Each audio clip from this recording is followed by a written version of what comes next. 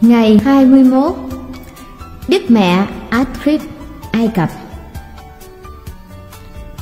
Đức Phaolô thứ sáu trong phiên bế mạc khóa họp thứ ba của Công đồng Vatican II ngày 21 tháng 11 năm 1964 đã tuyên bố.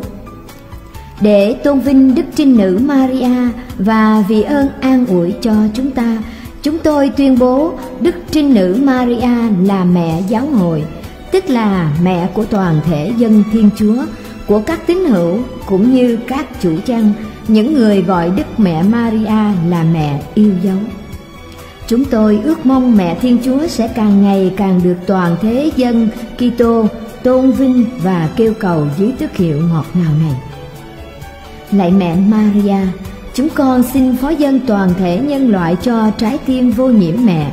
Xin mẹ đưa họ đến chỗ nhận biết Chúa Giêsu Kitô là đấng cứu độ duy nhất và chân thật.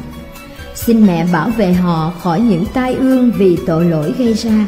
Xin mẹ ban cho toàn thế giới được hòa bình trong chân lý, công lý, tự do và tình yêu thương. Lạy mẹ Maria, nữ vương hòa bình, xin đổ đầy linh hồn con sự bình an của Chúa Kitô.